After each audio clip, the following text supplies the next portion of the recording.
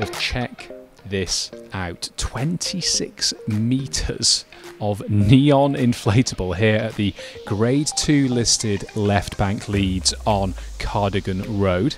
It's a former church, and this has arrived. It's called INF23 and it's been installed to encourage people to explore more of our historic spaces.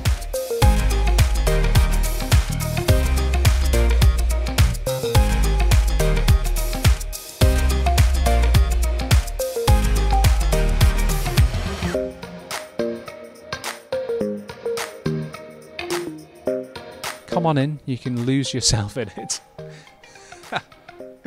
it's uh, the work of London based artist Michael Shaw, who has used around about 600 metres of fabric to create it.